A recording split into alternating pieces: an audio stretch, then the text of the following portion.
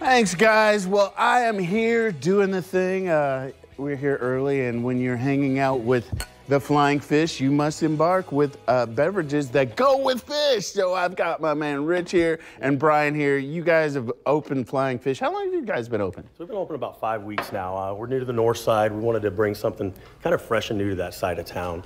Uh, you know, we want to invest in a kind of an upscale casual environment, something they didn't have over there.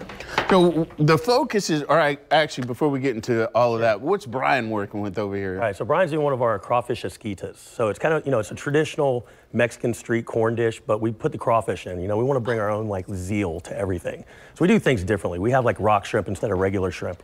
You know, we bring in a lot of fresh fish, but this is one of our most popular appetizers, and I want you guys to try it. Now, you guys are a tap house, Yeah. and you're bringing in this high-end stuff. So how do you blend all of that? Well, it, you know, it's easy because we're all normal people. Everything kind of, you know, we all are like, we go to high end restaurants, we go to low end restaurants, we're middle. You know, we have very fine wine list, we have great food. Um, we want to blend those with great prices and add something to the community. And then uh, the microbrewery, is that an aspect as well? That is like taking off like hotcakes, man. So our beer is selling left and right. It's really good, but I couldn't bring any of it in because it's not, you know, it wouldn't carry well with us. And I didn't know the legal parameters. Uh, what do you mean it wouldn't carry well? I mean, It's a reason for you to come in the restaurant and see oh, me. well played, Yes, well yes. played. I, I want you to know how good it is and how popular it is, but now you have to come in and try it. Now, flying fish, I know that's like the focus, but do you guys do other dishes besides? I mean, obviously. Oh yeah. So you come in our restaurant and have something different every day. I mean, we, do a huge specials list. So we're gonna have cobia, triple tail. Uh, we're gonna have mahi. We're gonna have sheep's head. We buy fresh fish every day. We do different setups. So you know, being like one of the only kind of nice casual restaurants on the north side so far. Not to say we want to be the only one. We welcome more, but right now everything the fresh fish is amazing.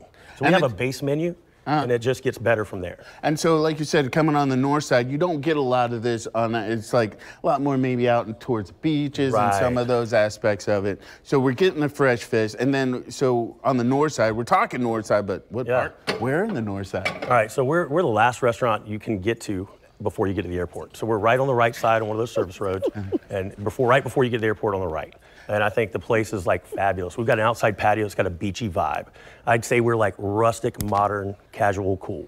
So there's a couple ways you can look at that. So let's just say you're coming back from a, an adventure and you're just like, man, I want to grab something, and it's like, oh, we've got flying fish Oh, right yeah. here. So that's a great Yeah. way. Or you can send people off. They'll come in like, you know what, I want to. Well, I'm trying. I'm gonna try and uh, start some marketing soon. This is Ralph, our little logo here. Oh, okay. And I'm gonna start something called Where's Ralph. So everybody traveling through, I'm gonna give them some T-shirts, you know, get them some garb, and let them go somewhere and take pictures of where they wind up. And you guys do. Well, actually, I'm going to try that. So we're going to. Oh, yeah, I want you to. This stuff's really good. So uh, we got this working, and then you guys do live music.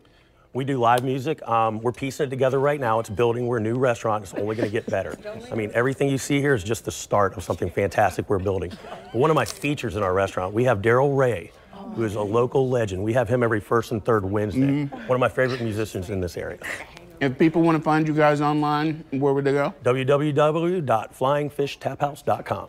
Hey, let me tell y'all though, synthetic I'm living this. I'm all about this dream. Come check out the Flying Fish Tap House. Oh, Daryl Ray. You know what? That is a segue because we have him here in studio right now.